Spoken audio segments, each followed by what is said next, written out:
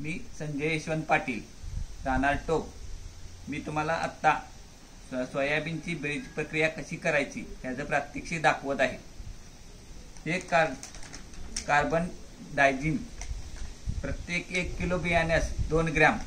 या प्रमाणात मी आता हे घेतलेलं आहे. हे आता ह्याच्यावर हलक्या हाताने टाकून त्याला चोळत आहे. असं हलक्या हातानं मी त्याला चोळलेलं आहे. ते आता त्याला लागलेलं आहे. आता थोड्या वेळ अर्ध्या तासानंतर आपण दुसरी जैविक प्रक्रिया बीज प्रक्रिया त्याच्यावरती करायची आहे. रासायनिक प्रक्रिया बावीस तीनची झाल्यानंतर आता आपण ट्रायकोडर्माची त्याच्यावरती बीज प्रक्रिया करायची आहे. त्याच्यासाठी पंचवीस ग्रॅम एक किलो बियाण्यासाठी ट्रायकोडर्मा आपण हे घेतलेला आहे. हे याच्यावर हळुवारपणे टाकलं आहे.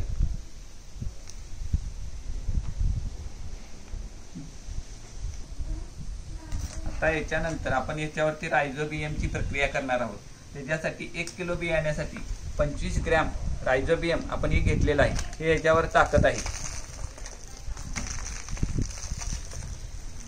त्याच्यानंतर आपण ह्याच्यावरती ते सगळ्याला लेप व्यवस्थित लागावा. म्हणून आपण ह्याच्यावरती गुळाचं पाणी हे थोडंसं असं शिंपडत आहे. कारण त्याच्यामुळं त्या बियाण्याला सगळीकडं एकसारखं प्रमाणात ते चिकटून राहते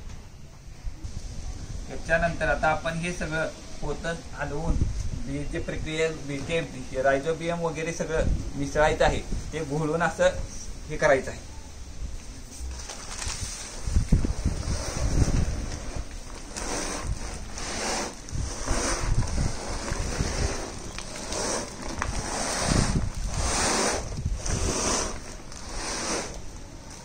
आता हे आपल्याला चांगल्या प्रकारे त्याला लागलेलं आहे.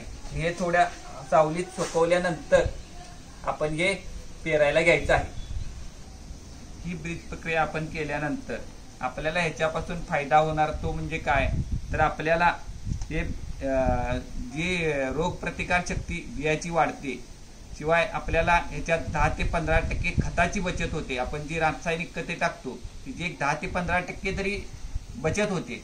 शिवाय पिकाची वाढ रोपांची वाढ जोमाने होते.